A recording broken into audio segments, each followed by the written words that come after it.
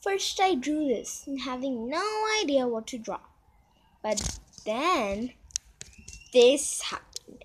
I went to the room and I checked it if it was correct because I was drawing something which was in the room, but I ended up drawing the whole entire room.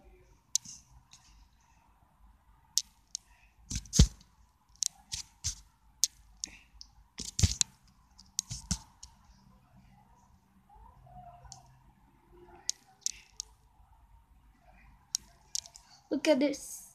All was here. And I just drew it by accident. Wanna see more in real life pictures? With a little twist.